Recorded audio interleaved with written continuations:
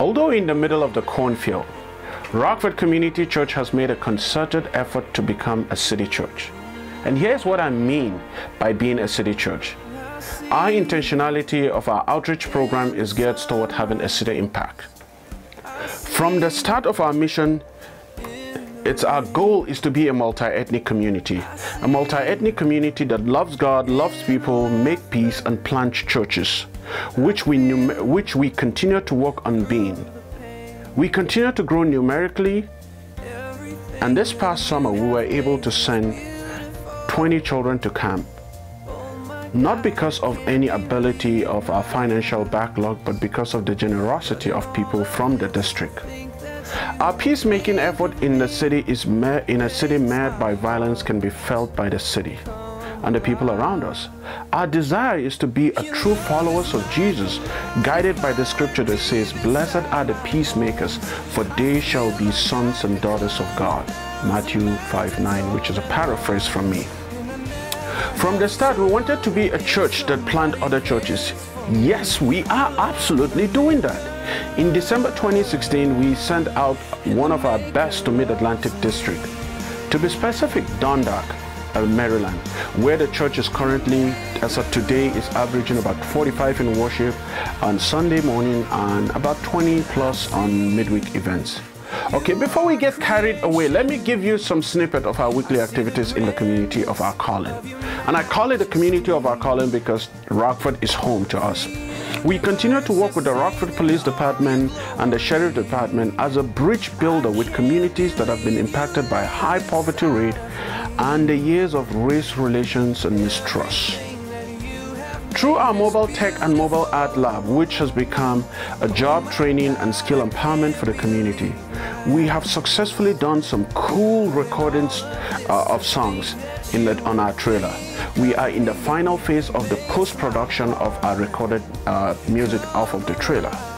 We were privileged to serve Rockford School District this past summer with ESL for the newly arrived refugee we had about 80 refugees that are from 10 different nationalities uh, that have come and the desire of the Rockford School District is that they entrust us, our mobile uh, tech and the mobile lab outreaches with the responsibility, with an ability to help these kids navigate the Rockford school system. And the story that really stand out for me is the story of John, which is, that's not the real name, that's a changed name. John who came from Yemen, he and his father had been in a refugee camp for over two years and have been separated with his mom from his mom and sisters who are still in Yemen. He speaks with his mom daily. And some days during their call, he could literally hear sounds of bombs being dropped. And his heart just sinks to know that his siblings are caught up in the other side of this world. He said this, and I quote, I am grateful for the US for bringing me here and giving me a second chance on life. I pray that this war will end soon. End quote. Stories of people like John gives me every reason to continue to do the work of nonviolence and conflict transformation.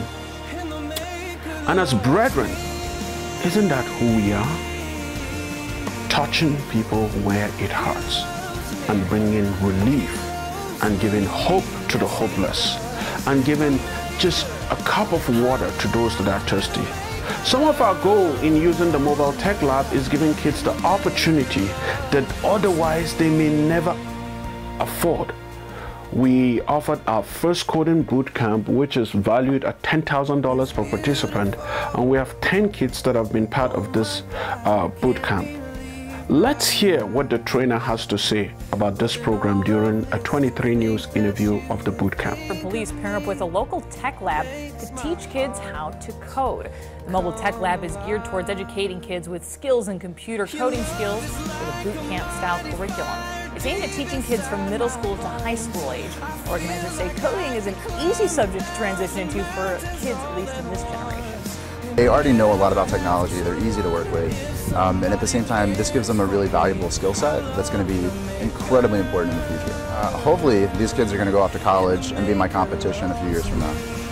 The boot camp taught kids how to build a website from start to finish in just an hour. Now that you have heard all this, can you believe it that every one of you Yes, I say every one of you and every one of us that work in this mobile tech lab does it for free. None of us get paid to do the work. It is run by a bunch of volunteers. We are a church with a vision to change the community. And I want to invite you, how much is your church involved in changing your community? And I want to extend my gratitude to everyone in the district that have been in prayers, that have supported us uh, financially, that have helped, held us before your congregation to pray for the work of conflict transformation that we are doing in the city of Rockford. And I know it might sound like a cliche, but I just want to say thank you for availing your shoulders that we all can stand on. We are in this together. God bless you.